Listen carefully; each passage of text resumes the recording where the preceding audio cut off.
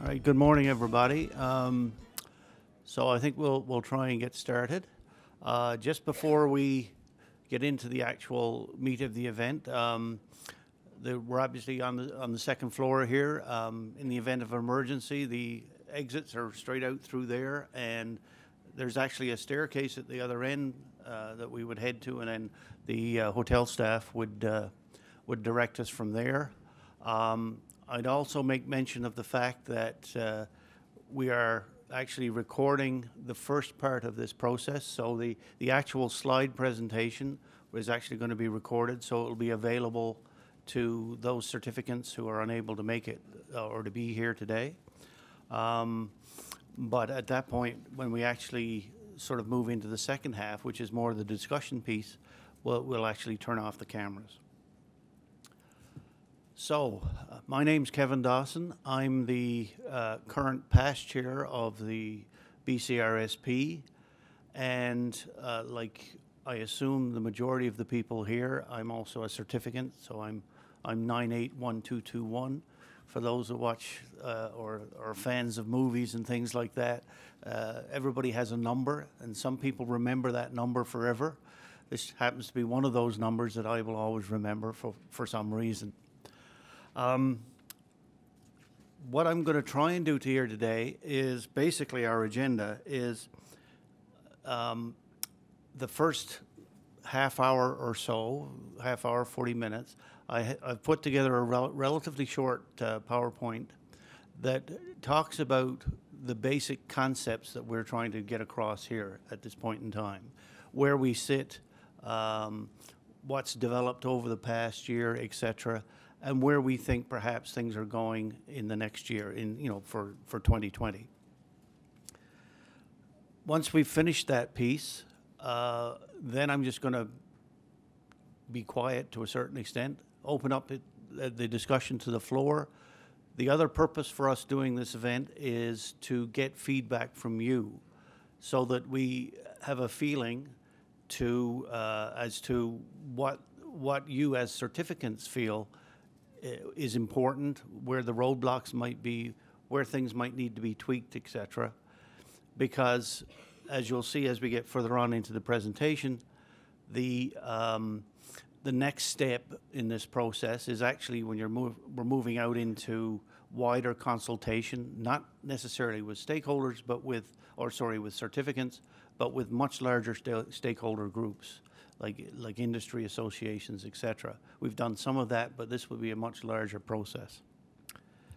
So it doesn't really make sense for us to put huge amounts of time and effort into that next year if there's a general feeling that the whole concept of what we're talking about just doesn't make sense or it's not a good idea.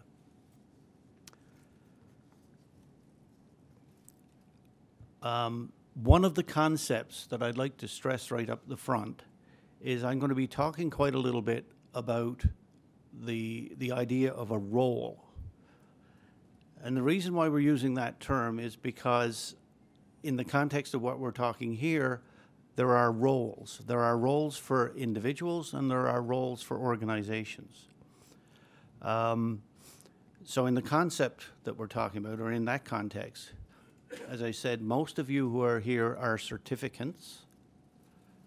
But in addition to that, I would suspect that most of you are uh, employees or owners of, of organization or part of organizations. You're also perhaps members of, of organizations such as the CSSE or other professional bodies. And some of you actually also may be registrants or license holders. So when I use the term role, please bear in mind that it could mean, it could be, uh, could be relevant to you in either of the contexts that I just used. It's, it's not an exclusive type of thing. It's, it, it's something that can fit across uh, uh, individuals and organizations.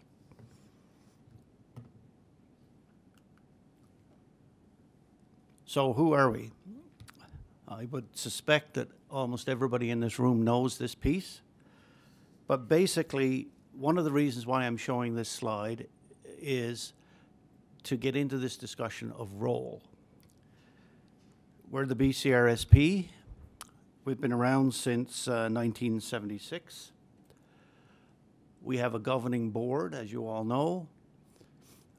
All of those, or the majority of the individuals on that board, we have one public member, and we have uh, one individual who's actually a staff person, if you will, or two, actually.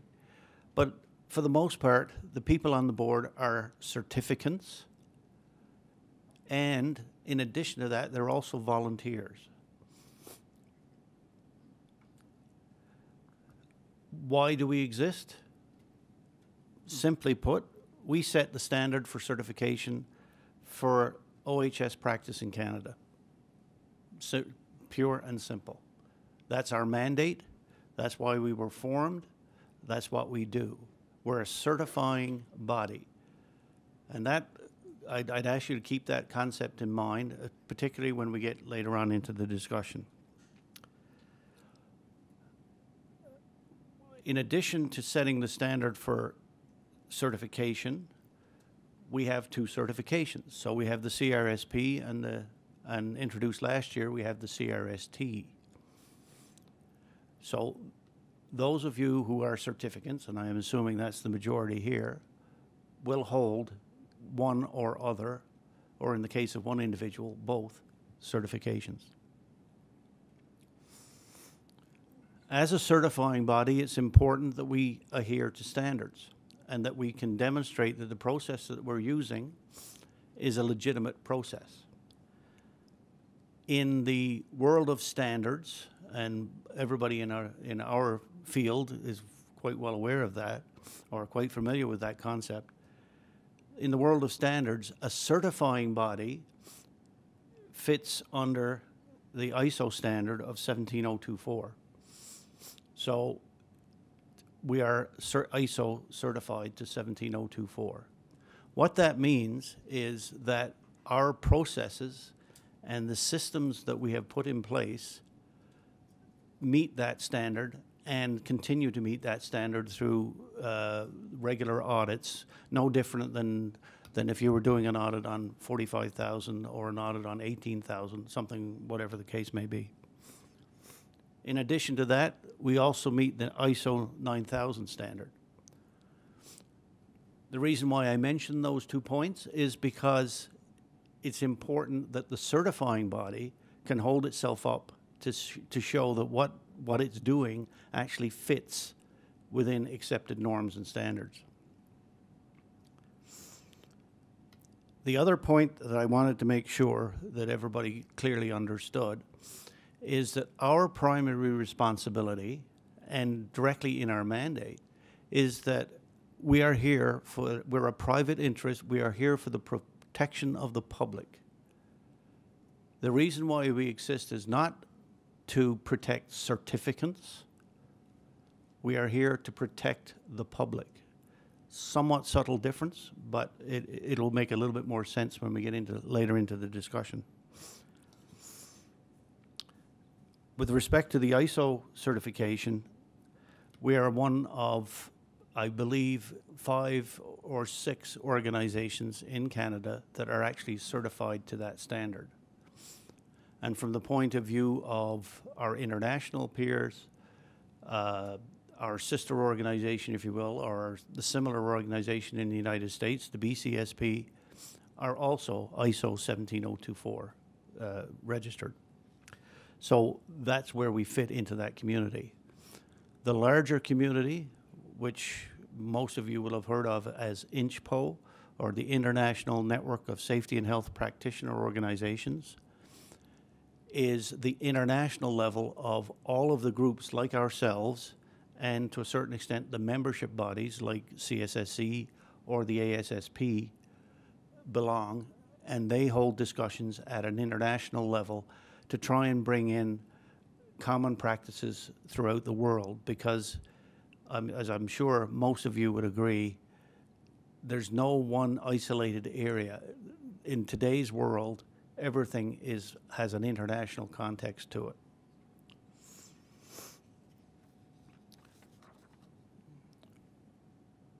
Just to rehash, this is our vision safe and healthy workplaces through certification. So we're not interested in being a membership body. That's not our role. It's not our mandate. We're not interested in being uh, a registry college, a licensing organization. That's not our role.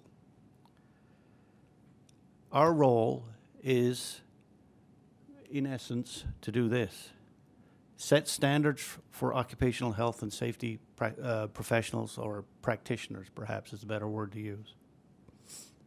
And that's what we do. The reason why we're involved in this discussion is because this is an integral part of the overall definition of what it means to be a professional or to be viewed as a professional group.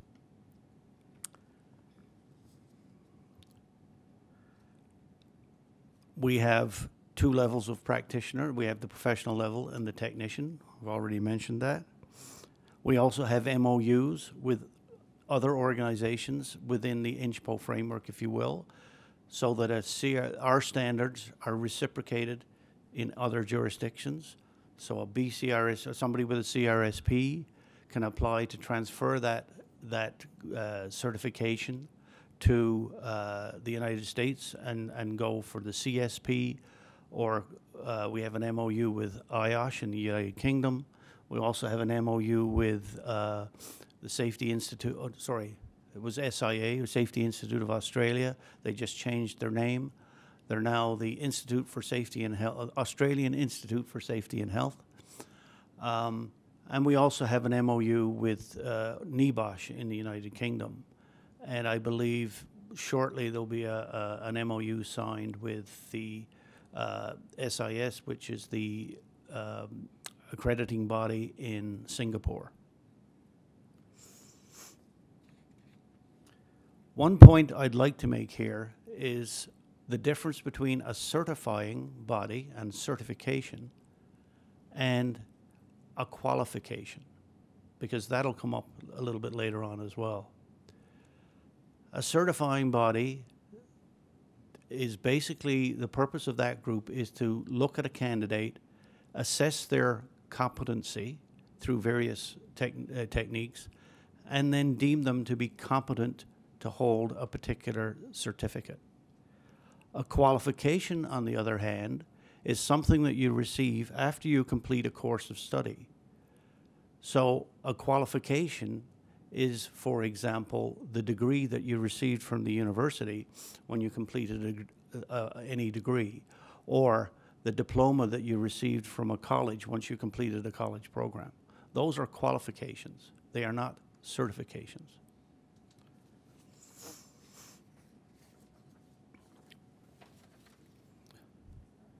So we've been around for approximately 42 years. What does that mean? What you see before you there is actually as of, uh, I believe, uh, July or August of this year.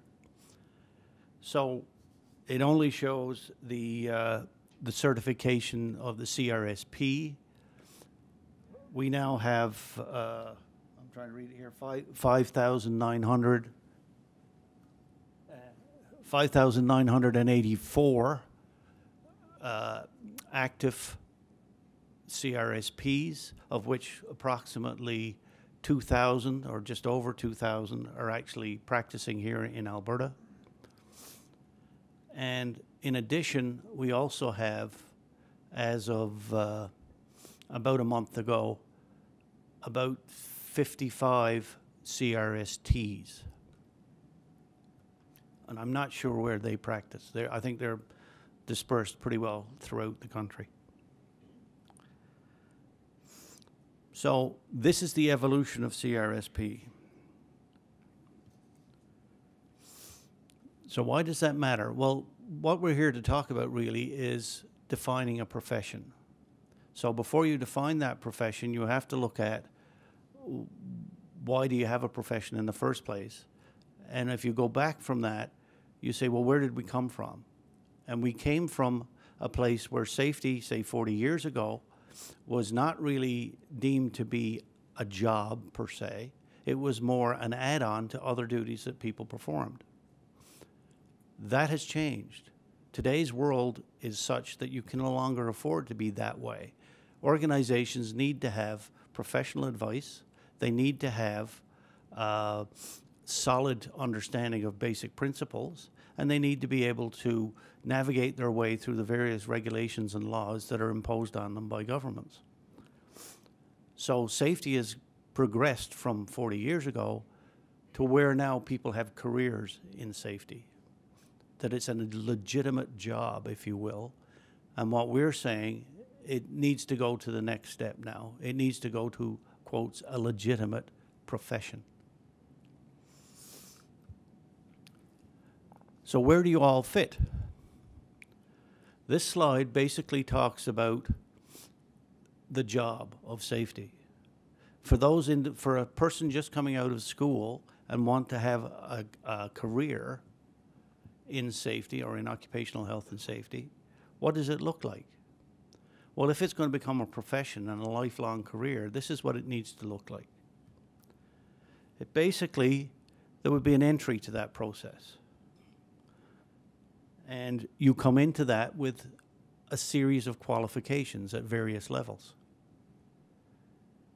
You then become certified at a, an appropriate level. We're showing the CRSP version, if you will, but the same thing would uh, apply to somebody who's a, a, an ROH or somebody who's a, has certification as an occupational health nurse. Basically, the concept is still the same you work your way through that process. You perhaps even get degrees, which now are available. What 40 years ago, there wasn't really any around. You might even have gone further than that, and you might actually move into uh, doctoral work and research.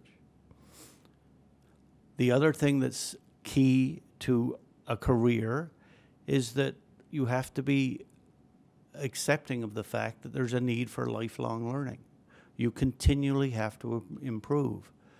That's not news to anybody in this room who's used to dealing with standards and dealing with audits and continuous improvement and ISO concepts. Continuous improvement is a natural part of being in a career. And there's also places for specialization of specialized certificates or specialization from the point of view of the fact that uh, health and safety unlike some of the other career paths, is has a defined scope of practice that is extremely wide, and we have some individuals who are more quotes generalist, and we have some who are perhaps more specialized, and even those who sort sort of start out as generalists usually tend up to special uh, tend to specialize uh, over time. So what do we have here? We have skills plus academic background plus experience eventually translates into career.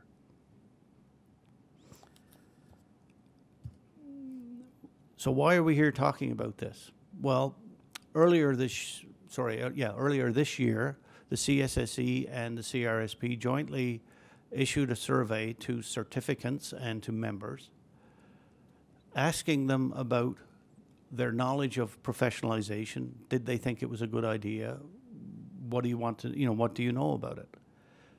And the results basically showed that although 70% were in favor of moving forward in this direction, the vast majority of those respondents also said they didn't know enough about it and they didn't know what it entailed.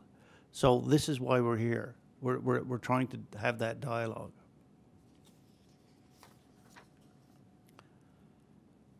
So, what is a profession? This is the definition from our perspective. It actually comes from the Australian Council of Professions. We borrowed it from them. But I think it, in a nutshell, gives us context as to what we're talking about. So there's the concept of ethics, there's the concept of a specialized body of knowledge. There's the concept that you have to have academics to learn some of the techniques and, and, and knowledge within that body of knowledge. that body of knowledge evolves over time through uh, uh, research, education, and training. And finally, those who have all of that stuff then learn to apply that knowledge and exercise those skills in the interest of others. A hallmark of a profession is that it becomes a profession in the context that we're talking about here when its purpose is to better public at large or others in that sense.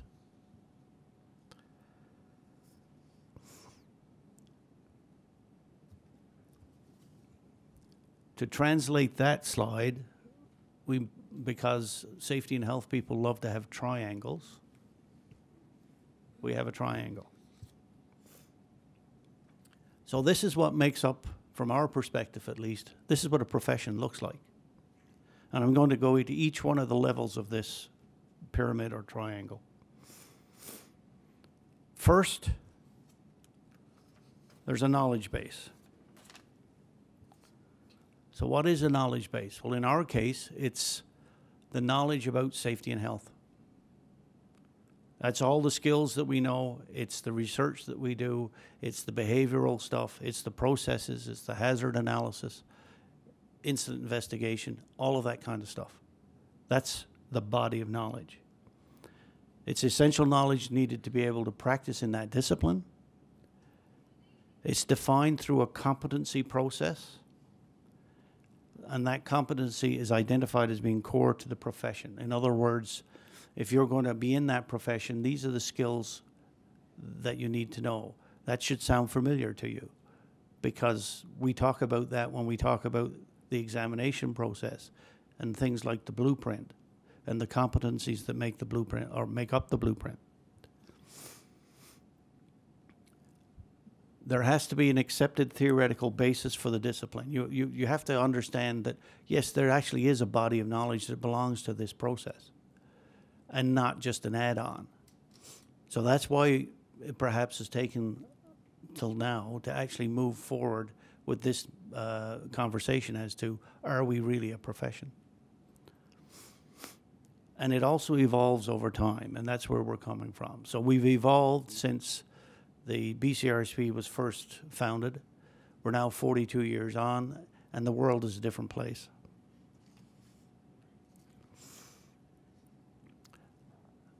The next layer that was in that triangle was educational programs. An integral part of a profession means that there is a, an accepted and formal educational process to learn your basic concepts, to learn the initial skill sets that you have to have. Um, these are usually in a formal academic setting. The people that actually produce these qualifications, and this is where you get qualifications like degrees and diplomas and certificates. If you look at the other professions, it's very quick to see that one of the things that distinguishes it is that the institutions that provide those qualifications usually do so through an accredited process. In other words, they themselves are required to meet a particular standard. There's not a requirement to actually do that per se. The market dictates that. So if you look at a, an engineer or a lawyer, they graduated from a school, school of law, school of engineering, whatever. Most of those schools are accredited. And the reason for that is because graduates from that school want to have a piece of paper that's recognized by the other players in this process, like the membership organizations, the regulatory bodies, and the certifying bodies. So if your piece of paper doesn't meet that standard, then why would you actually go to this particular school or that school? The other thing is that as the discipline evolves, you start to see more and more uh, it becoming a, a, valid, quotes, faculty, if you will, in the concept of educational institutions.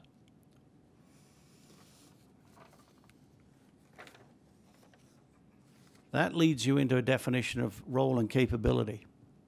So once you've got your education, then you start looking at, well, what do these people do? What does somebody who has a law degree, what do they do? What does an engineer do? What does a nurse do? And out of that becomes defined scopes of practice. It comes career paths, and you'll go back to that first slide that I showed. In the context of occupational health and safety, BCRSP and the CSSE are signatories to the what's called the INSHPO framework, the Singapore Accord.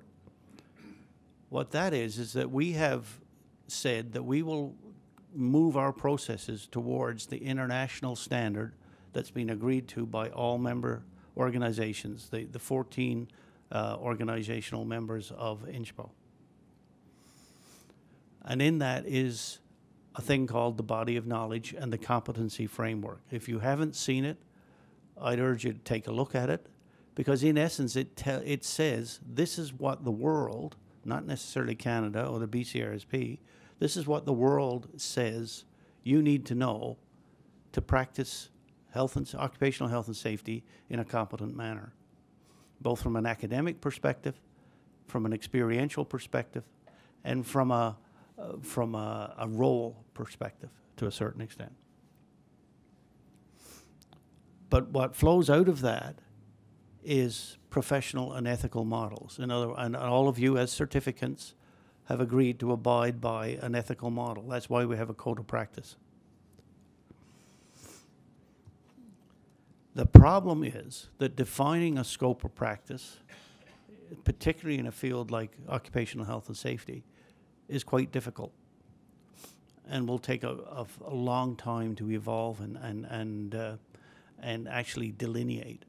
In some cases, these things have been going on for years. Like, for example, the engineering profession has been officially a profession around for almost 100 years, or over 100 years in some cases, and they're still defining their scope of practice.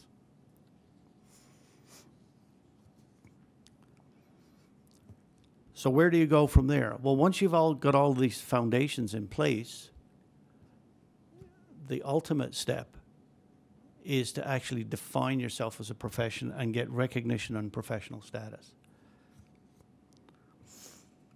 This is in the Canadian context, while anybody can do all the other stuff, in the Canadian context, this is primarily a provincial jurisdiction. It's the way the Constitution is written, just happens to be the way it is. The only caveat that is to that is if you happen to work in a in a federally regulated workplace, the rules might be slightly different.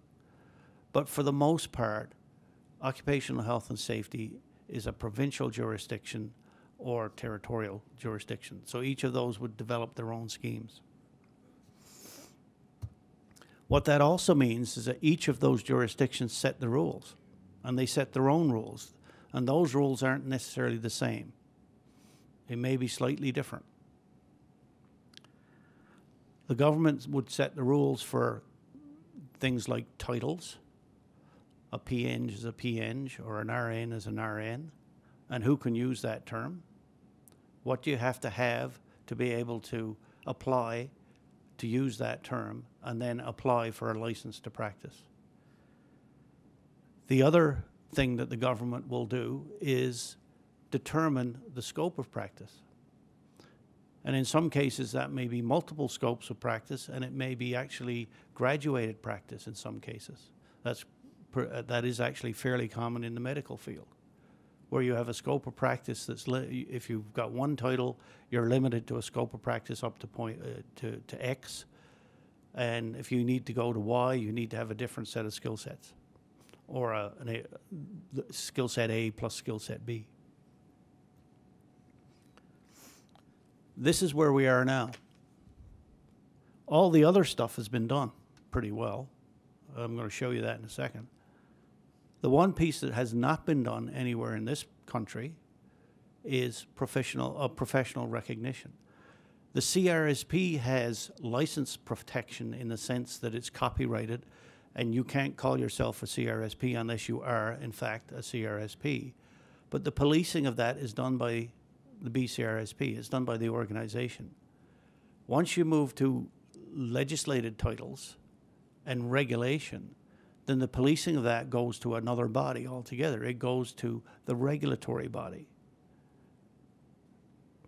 There aren't any of those yet, at least in the field of occupational health and safety per se, other than nurses to a certain extent. And in fact, as far as I'm aware, there is only one other jurisdiction right now that has full licensure, and that is Singapore. The other jurisdictions have partial licensure, for example, in the UK, but Singapore is the only place right now where you need a formal license to practice from the government to practice. The other key point that needs to be made at this juncture is that the regulatory body and regulation and professional status will only be granted to a group if it's in the public interest. So the government will only do this if it's deemed to be in the public interest. Not in the interest of the people who happen to practice in that field, in the interest of the public, protection of the public. So, like the CRSP basic mandate, there's no difference here. It's the protection of the public. And the reason why it's worded that way and put that way is because the whole idea behind granting professional status is that in return for having a protected title and a license to practice and a scope of practice, you um, you are doing so. You're getting a right to work in that space and the reason why you're doing in that space or working in that space is to protect, it's in the public interest for you to do so. So the government has determined that it's in the public interest for these people to do it, to, to be licensed, to be become licensed professionals.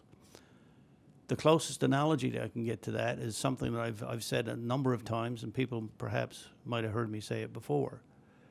To, in the province of Ontario, for example, I'll, I'll move to a different spot.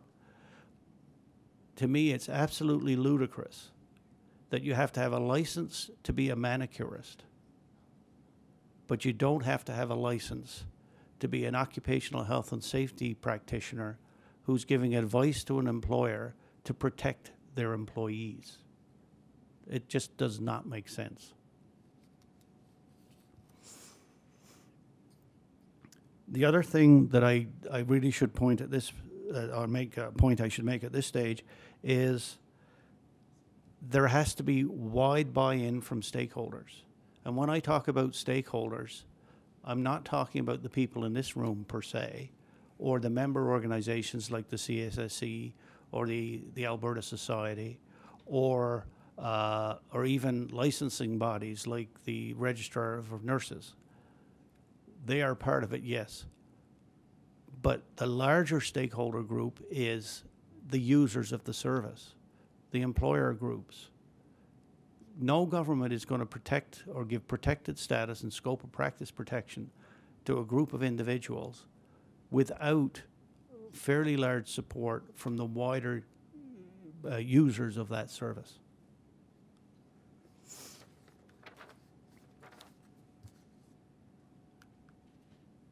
So, what was all that stuff about?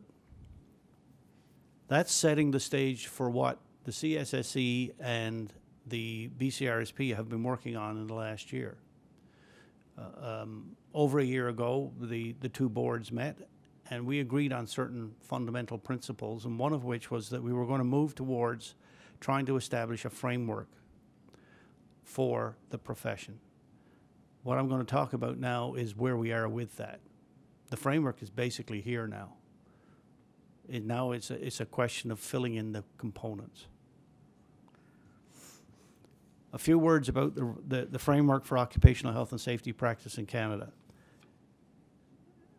This is a roadmap, in a way. It's a, an organizational process. It's not the be all to end all, and, and there's going to be variations depending on jurisdictions and depending on circumstance and depending on timing. Not all jurisdictions are going to be jumping into this with In fact, I would suspect there'll be one that will go first, and maybe a year or two later, somebody else will go and whatever. Alberta may well be the first jurisdiction, but I wouldn't necessarily bet on it. It might be Ontario. And the other point I should make is we're not just talking about CRSPs or CRSTs. We are talking about the larger practice of occupational health and safety in Canada. So, in addition to the CRSPs and the CRSTs, we're also talking about ROHs. We're talking about certified occupational health nurses. We're talking about ergonomists. We're talking about uh, specialized auditors. A lot of people contribute to this overall process. And those other groups have their own membership bodies and have their own certifying bodies. So they need to be part of this process as well. So this is what the roadmap looks like. I will stress at this point that the reason why we're filming this is so that you can actually go back and look at this again. It'll be up on the website. But we can also send a copy of this PowerPoint to anybody who really wants it. So don't worry about looking at the tiny little detail. Okay. So what's this built on? This is basically what we're saying is the foundations for a profession. You take all of the concepts that I just talked about a few minutes ago about defining the profession and you translate them into, well, what do we need to do to make it work in Canada? We believe that this is the way to do it. There are some provincial components, primarily the, the piece that talks about the regulatory body or the, the regulatory college, whatever title you want to do to use for that. But the rest of it can all work, and in our view, should work in concert across the country. Because one of the fundamental principles that we've heard back from government when we've talked to them, and we've, we've had consultations with government in British Columbia, in Alberta, in Ontario, and in Nova Scotia, is that don't bring us anything that will restrict the mobility of individuals from practicing or working at any point in the country. You must have a process that can be transportable across provincial boundaries. So let me go through some of these components. This, this is not news, by the way, to those same governments because we've given this information both on the political side and on the regulatory side. So, the, for example, the occupational health and safety departments, uh, the regulators in, in various provinces, they are all familiar with this. They, they've seen this. Let me go into a little bit more detail. One of those pillars was the National Accreditation Board. If you cast your mind back to the slide that we talked in defining a profession, we talked about professions, uh, the universities or the colleges or the whatever that have the programs where people actually learn the basic skills, most of them are accredited. We didn't have that. Now we do, or we will shortly. Um, this, yeah, I'm just, all right, this is the National Accreditation Board. Um, this this brew, the, another one of the initiatives of the CSSE and the BCRSP when we had that uh, collaboration discussions was to work on this piece. This is now complete. It has been presented to all the educational institutions across the country that provide uh, training, so the, the diplomas, the degrees, etc. They are fully aware of it. They are working towards it and getting their systems in place and they fully understand that at some point in time, they will need to be accredited to a standard. We've developed the standard, it's ready to go. That standard was developed with input from all of the educational institutions. And in fact, the target right now is that the first accredited programs will start rolling out or be accredited, sorry. The programs are there already. But the actual accreditation piece will be in place by Q4 of 2020.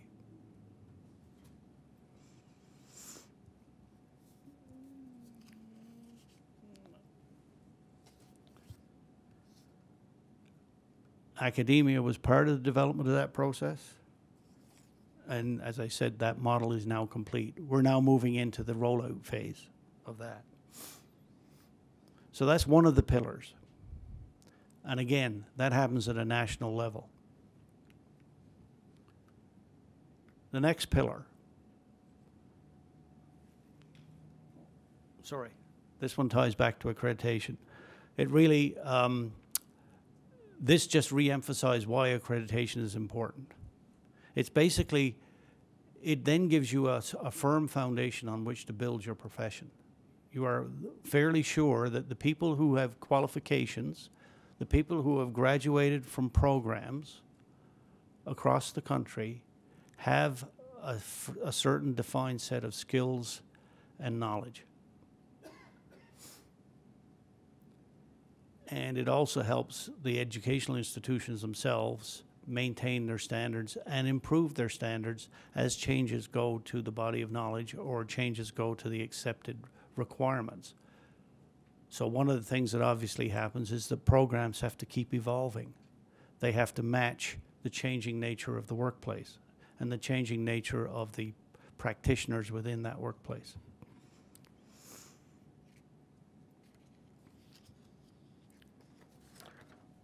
Now I go to the next one.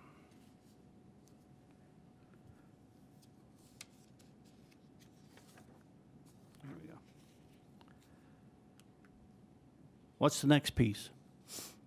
Well, the next pillar, again, we say at a national level, is the certification process. This is already in place.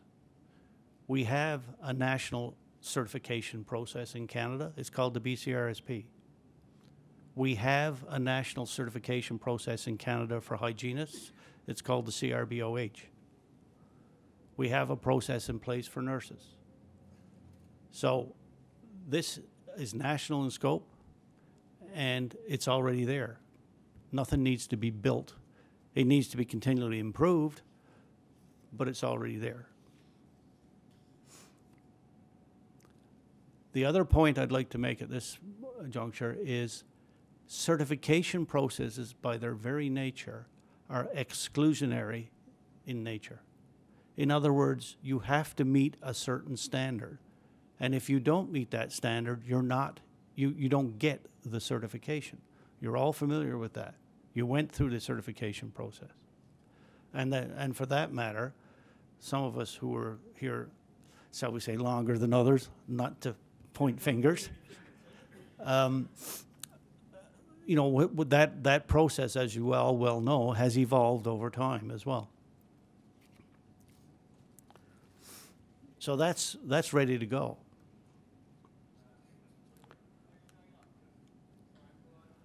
This piece, perhaps I should leave to last, but anyway, I won't. This piece is the piece that now needs to be developed. This is the regulatory college. The authority for the regulatory college comes from the government. In Alberta, you have a unique process because you have a separate act that deals with part of that. But that may or may not be the most appropriate way to get certification, or sorry, to get uh, recognition as a professional status. In most other jurisdictions, it's granted through an act of, you know, if the profession is deemed important enough, it is deemed uh, or it is granted through an act. So, and, and the same is actually true here in Alberta. So, for example, uh, engineers in Alberta have an act. Doctors in Alberta have an act. Lawyers have an act. They don't necessarily go through the POR process, although that's certainly a stepping stone, if you will.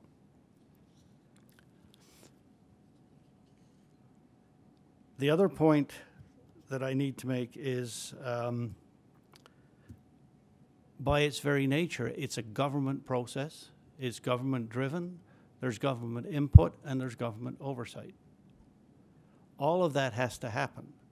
But before a government will even think about doing this, they have to have stakeholder feedback. They have to have a, a business case, if you will, made to them to say why is it important? Why do we think this is good? Why does this protect the public? Why is it in the public's interest to do this? That's the driving forces behind this. The other point I'd make that this is also an exclusionary process. Not everybody is granted a particular title. Not everybody is granted a scope of practice or, or a license to practice within a particular scope. In some cases, there's limited licensing, etc. So this is not all encompassing. It only encompasses the scope of practice that the government deems necessary to include in it. So there's scope and there's limitations.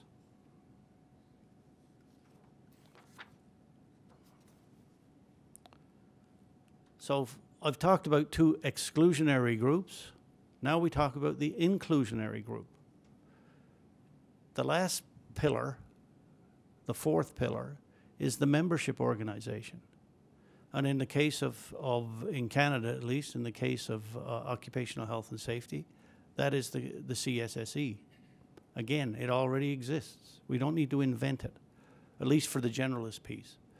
Some of the other specialties perhaps will have their own membership organizations as well, and there's nothing wrong with that. But basically, the fundamental difference between the membership organization and the other two uh, bullets that I just showed is that this is inclusive in nature.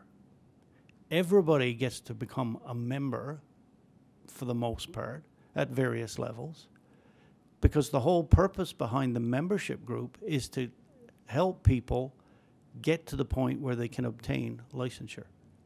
So this is why you have continuing education processes that are tasks within the membership organization.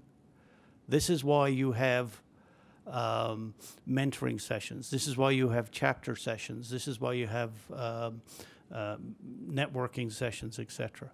That's the whole purpose behind the membership organization. And at this point, I'd like to draw a little bit of a, use that role term again, because basically I've talked about three different roles. Leave the accreditation piece aside for a minute.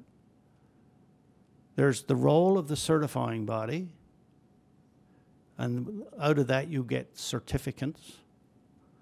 There's the role of the regulatory college or licensing body, and out of that you get registrants or licensees.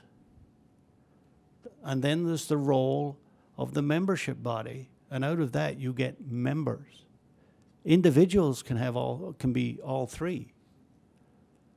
But one of the things that we feel is quite important to distinguish is that the organizations themselves are better served if they focus on their particular role. So the membership organization focuses on membership issues. The certifying organization focuses on certification. The regulatory college focuses on license to practice um, and maintaining or discipline within that license to practice. For example, once there is a regulatory college, the complaints and ethics piece tends to shift from the certifying body to the regulatory body. So there are examples where a membership organization is also the regulatory college. They have a dual role.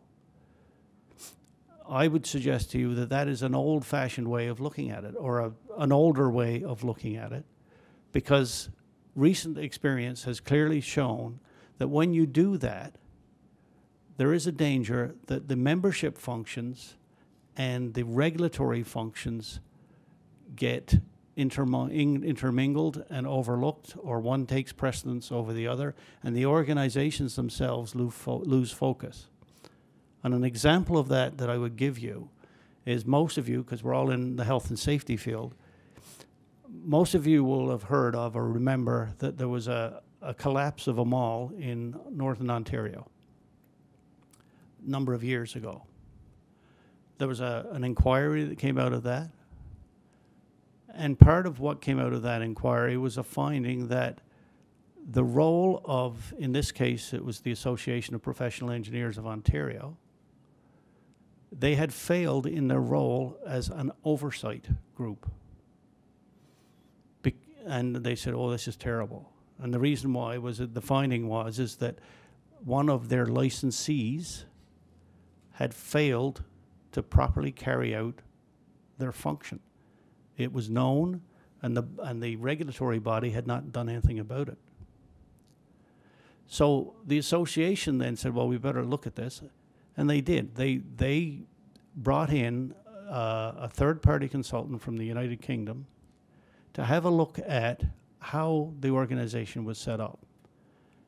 And the result of that review was that the problem was fundamental in the fact that the Association of Engineers, and I would say to you the same thing is the case here in Ontario, uh, sorry, in Alberta, had lost its focus with respect to its primary responsibility of licensure. It was more focused on its role as the membership body for engineers. And as a result of that, in Ontario at least, they've now split those two roles. So there's two separate organizations. One that looks at the licensure piece solely, and that's their function, and the other piece that looks at the membership uh, requirements and needs and, and, and responsibilities. That's why we're suggesting in our model here that that's the, perhaps the more appropriate route to take. Keep the roles separate, and you don't have that. To further reinforce that point, I would also point south of the border. In the United States, it's in fact the opposite of what we're talking. Instead of trying to regulate the profession, they're actually talking about deregulating professions. And if you look at the reason why, in most cases, it's because there's a general understanding or feeling that the professional bodies who are supposed to be regulating their, their licensees have lost focus on that and are not doing that, and they're becoming more turf protection entities, restraint of trade, if you will. So governments are saying, ah, that's not what regulation is for. We're taking it away from you. So that's a trend that has to be kept in mind in this discussion. So that's where we are. The last slide, before I actually turn it all over to you guys, is this one. In our national framework, we say, okay, well, you've got this certifying body, you've got the accreditation body, you've got the regulatory college, and you've got the membership body. You can't have them all going off willy nilly. And we agree. That's why, as we go forward this process, there needs to be the fifth pillar. And that is sort of the overarching organization that's made up of representatives from all of those four functions to help guide the profession and become the primary advocate for the profession. To use the engineering analogy again, that would be Engineers Canada. So, Engineers Canada is the national body that sort of brings together all of the provincial associations. And they act as the spokesperson for the profession. So, that's the fifth pillar in this case. So, where are we now? Well, we've got the membership piece, we've got the certification piece, we've got the accreditation piece, ongoing or pretty well, you know, moving. The last piece is the regulatory body. And that's where you come in. We now need to get gauge interest from certificants. We need to know what you feel about all of this. Because there's no sense in us spending all time and kinds of time and effort going to governments to say we want to become a regulated profession if you guys don't want it in that sense.